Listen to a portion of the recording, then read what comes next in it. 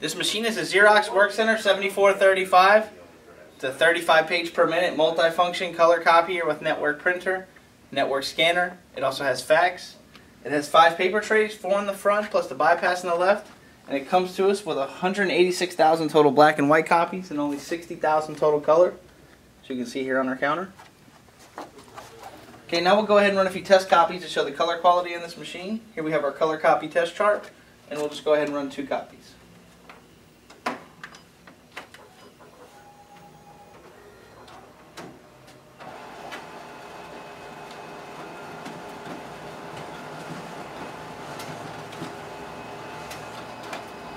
And here we have our test copies. We'll go ahead and place them on the glass next to our chart.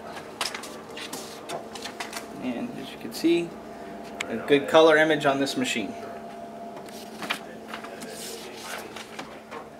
Alright. And now we'll go ahead and test out the document feeder on this machine.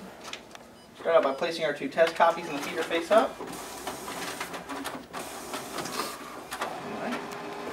And there we have our document feeder working.